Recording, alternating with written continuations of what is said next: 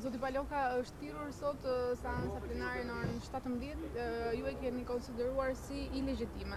Po, siç e kam deklaruar që në mëngjes përhapjen në mënyrë ilegale të njoftimit për deputetët e maxhorancës se seanca që ishte njoftuar për të enjten do mblidhet në fakt sot në orën 17.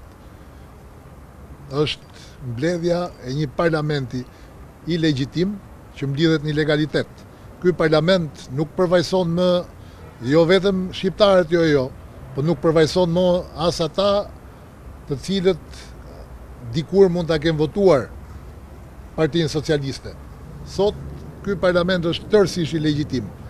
Pasi e rrethuan me tela me gjemba, pasi, siç u bëtë dhe ju dëshmitarë, i salduan dhe hyrjet për në Parlament, sot kanë kaluar në ilegalitet të plotë për të shpëtuar kokën e, politikisht flas, të Edi Ramës, kanë filluar mbledhin Parlamentin, jo vetëm sikur e kanë privat, po edhe në ilegalitet, ndërkohë që ai tjetri bën antimitingun e radhës në Lushnje, se vetë hikën fare, as nuk rri në parlament, dërgon Taon me Spiropalin në parlament. Sot të jenë të bindur që me këtë taktikë dhe me këtë strategji nuk do arrijnë dhe nuk do shkojnë kurrkund. Ne u kemi bërë thirrje të gjithë demokratëve dhe jo vetëm demokratëve, të gjithë qytetarëve të Tiranës, të gjithë atyre që kërkojnë prej kaq kohësh largimin e Ramës, që sot të jenë para parlamentit dhe ne do të zhvillojmë protestën ashtu siç e kemi deklaruar sa herë të mblidhen, kudo që të mblidhen, sado që të kalojnë në ilegalitet dhe të fshihet Rama, ne do na ketë pas. Zoti Balla është shprehur se ju keni frikë nga Reforma në Drejtësi dhe nga SPAK.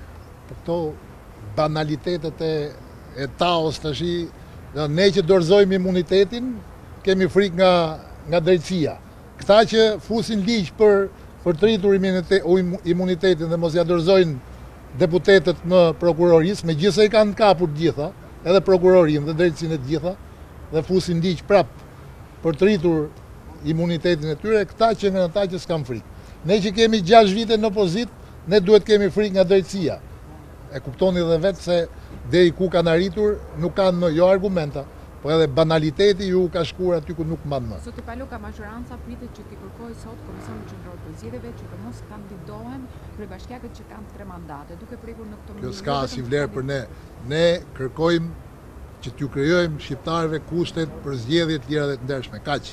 Gjithë këto të tjerat, ky show i neveritshëm që vazhdon dhe përpiqen ta ta bëjnë duke mbledhur një parlament ilegjitim në ilegalitet s'ka më asnjë vlerë çfarë vendimesh mund të marrin po nuk mund të marrin më asnjë vendim ata në emër të shqiptarëve jo ata mund të marrin vendime në emër të bandave në emër të krimit po në emër të shqiptarëve s'mund të marrin më asnjë vendim kështu që lodhen kot edhe që fshihen edhe që bëjnë gjitha këto akte që bëjnë Nuk ka më parlament që të përfaqësojë shqiptarët. Zoti Paloka edhe një pyetje ju lutem, ambasadori i Bashkimit Europian, zoti Luigi Soreka ka deklaruar sot se palët po tentojnë të ulen dhe njëherësh ka bërë edhe një herë thirrje për një protestë paqësore. Keni një koment? Nuk ka, protestat janë të qytetarëve. Ata të gjithë duhet të shohin Jua ka thënë Basha një herë dhe atë duhet të ndjekin. Mos i kërkojnë shqiptarëve asgjë për të cilën nuk do e kërkonin për qytetarët e tyre. Kaq është përgjigja jonë për këdo. Faleminderit.